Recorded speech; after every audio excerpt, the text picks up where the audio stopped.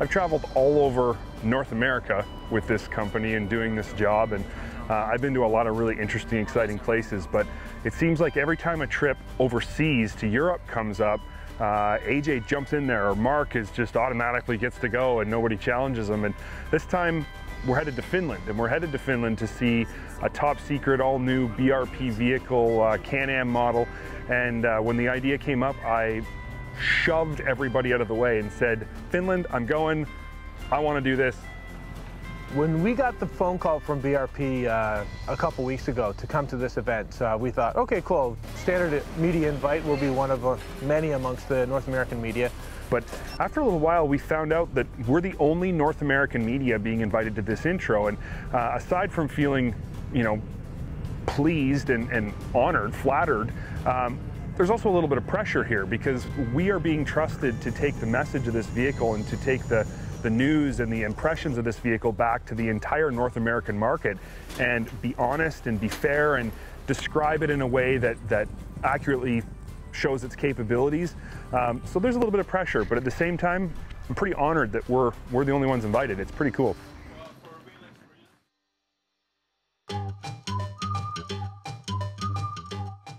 The distance to get to Rovaniemi from North America is what amounts to probably about 20 hours worth of travel.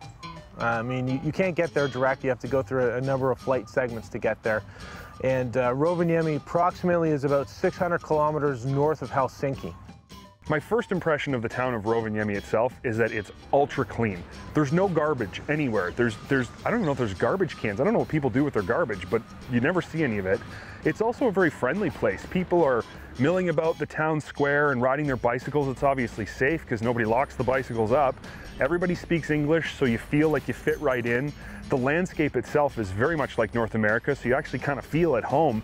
I really liked Rovaniemi from the second I drove into the, the city limits. I felt like this was a friendly place. I was very comfortable, even though I was so far from home.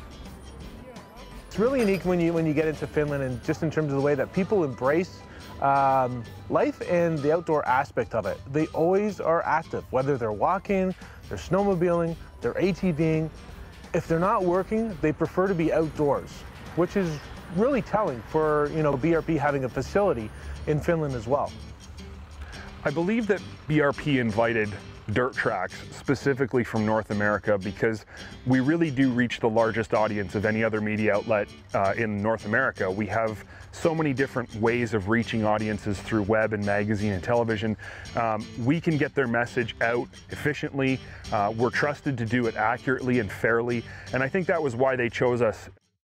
No, it's not too much embarrassing, you, you can enjoy that. As we were watching the presentation in the hotel boardroom, um, the intended purpose of the vehicle was described very clearly. Their uh, BRP's motto for this vehicle is work is play.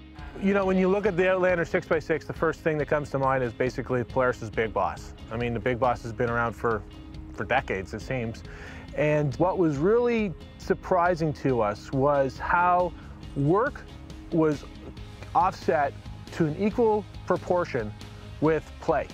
They wanted to make sure that when they developed this Outlander 6x6 that not only would it perform well from the utility aspect, but there was little compromise when it came to play. So our goal for Outlander 6x6 was uh, first of all, we were studying what kind of ATVs fits in the Scandinavian market. We're quite soon realized that uh, we have a good uh, product in ATVs, the Can-Am, but uh, the utility use in Scandinavia is something that's really important. So we started to focus on that and see what uh, is there some potential, new potentials we could do and bring up in, within uh, BRP too. So to make the Outlander 6x6 really special, the low gear ratio is 10% shorter uh, than our closest competitors, meaning that it has more off-road capabilities. And because we've got the biggest engine of uh, the industry, uh, we needed, you know, to, to review the heat management. In terms of a chassis now, uh, of course, uh, obvious difference is the third axle, but uh, also one of the biggest one is the fact that we've got a sway bar as the third axle that you can connect or disconnect. The key benefit of that is you st always stay in contact with the ground with some, uh, with some grip. Thanks to the third axle, you can add many, many loads and up to 800 pounds, but that's not all because on the top of that, you can tow 1,650 pounds, which is uh, also quite impressive. And the last thing, which is really specific to the Outlander 6x6, is of course, you know, this uh, cargo box. Every customer is really different. And what I mean by that is uh, nobody has the same needs. Uh, we went with a, a, flat bed to make sure that there was plenty of versatility uh, that could be offered to the customer. The thing that stands out most with the Outlander 6x6 is the level of modularity that they built into it. The cargo carrying ca capacity, the configurations that you were able to, to use in that between forestry, between farming, between wintertime use, that was the biggest thing that stood out for us to begin with. Without riding it, it's hard to know exactly what it's going to be like, but viewing it, hearing its intended purpose, hearing its benefits and features, I'm just trying to figure out what am I going to do with this thing in North America and how am I going to make this work for me?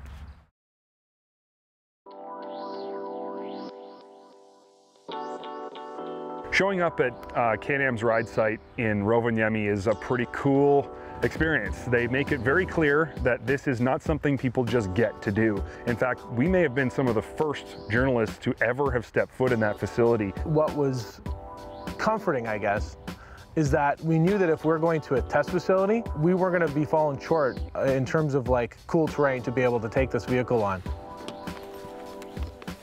Obviously, a test facility is meant to prove a vehicle, and we were going to be able to sort of get the best of the best in terms of uh, terrain to, to work with. We finally got to see the 6x6 sitting in the parking lot. Climbing aboard it felt like climbing aboard any other Outlander that I've ever climbed aboard. It feels exactly the same. It just felt like I was at home. It felt like something I was very familiar with.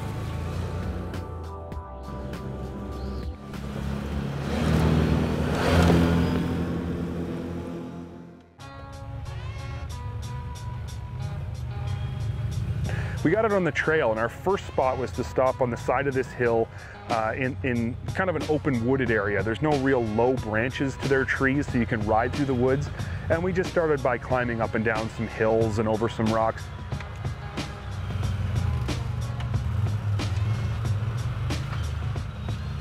By most standards, this would be considered pretty extreme conditions. I mean, we quickly got to an area where Yuri, who uh, was sort of our host for the day, took us to an area and he said, go up this hill. So you look at this hill, and this hill was like super steep. It was narrow in terms of the path because there's trees on either side of it. And the path was basically littered with these huge, tall rocks and boulders. And on top of that, it was a misty morning, so everything was wet. As I was riding the vehicle, two things came to mind. First, traction is obviously amazing, and that, that was immediate. I, I noticed it right from the get-go. You could go up any type of hill. Second, it's, it is long, and, and you do notice that third axle while you're trying to turn really tight trees, you end up doing more three-point turns. It's not really a big deal, but you do notice it.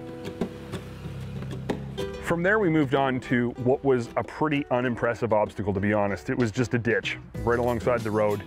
And at one point, you're looking at the vehicle and you realize the center axle is hanging, completely extended, not even touching the ground while you're in the bottom of this ditch.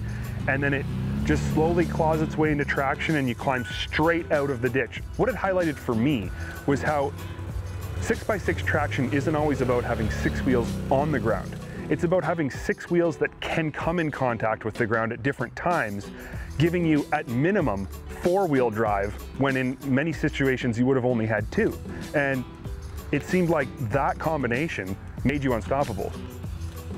We then decided to test its hill climbing capabilities even further. So we found this humongous hill on the side of what equates to a mountain. And it's probably one of the more vertical hills I've ever climbed in my life. It was very long. And again, our, our host said, put it in six by six, put it in low range, and just baby the throttle, don't let the wheels spin, and you'll make it up. And after we'd done it a few dozen times, it was kind of the challenge was over. It was like, this is easy now, so what's next? with the Outlander 6x6, what the real eye-opener was for us and what we feel would be the, the big push for North American consumers was basically the on-trail performance. You start riding this vehicle and before you know it, you're going faster and you're going faster and you're going around the corners. Next thing you know, you're counter steering around the corners and the thing is just has so much traction and has so much stability thanks to the longer wheelbase and the uh, TTI rear suspension uh, covering two axles that it just gives you a lot of confidence. And this was, I think, the part of the ride that really opened my eyes to the potential of the 6x6 and what this vehicle can do. It's a 1000. They didn't even make it as an 800 or 650. This is the full bore 81 horsepower 1000 motor in here.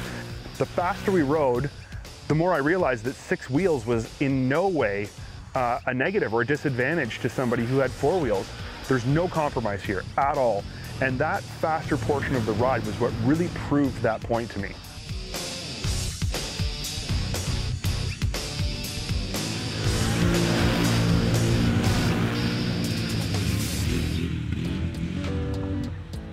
The thing I was most impressed with about the 6x6 was hands down its versatility. And it's versatile in that it can carry huge loads and tow all kinds of stuff. It's versatile in that you can tailor the flat deck to do all kinds of different things, but it's versatile in that it can work and play equally as well.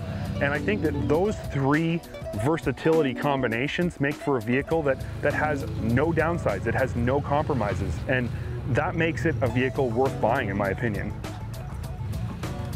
We went into this thinking that there's got to be some compromise here. I mean, how can you create a 6x6 vehicle that's designed for utility and then have it really perform well on the trail?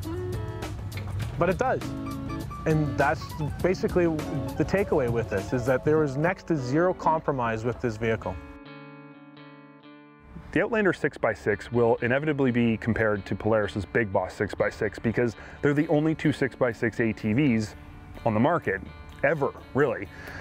And I think that while they are similar in their general idea, they're very different in both their execution and the final result. We really paid a big attention to the market evolution here in Scandinavia, in uh, Norway, Sweden and Finland.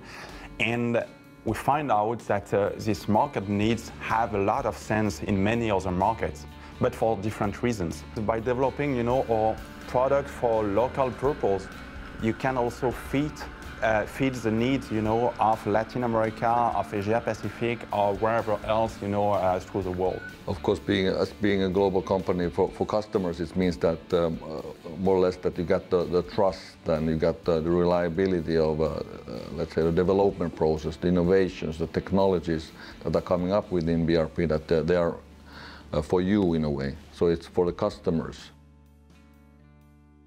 The 6x6 has got unlimited potential in North America. That was absolutely clear to me after a day of riding it. I can't think of anything it can't do. I can only think of things it can do better than what we have now. And the truth of the matter is when I think about what the 6x6 can do, I see all these opportunities to conquer things I thought were unconquerable, to go places I thought were unreachable, to haul things I thought were unhaulable. Um, I just think that there's nothing but potential for this vehicle to any rider in North America who loves to ATV. I have not seen any who has been in the, in the difficult terrain. And when, when he's taking the helmet, wow, he's smiling. Something has happened what he was not expecting. You have to feel it. Test it.